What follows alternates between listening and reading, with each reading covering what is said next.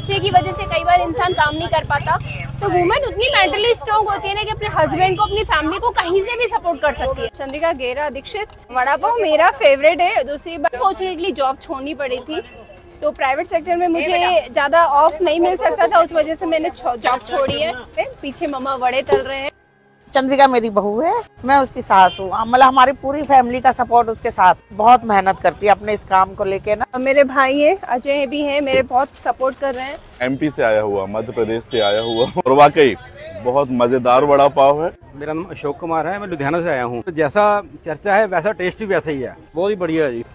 जी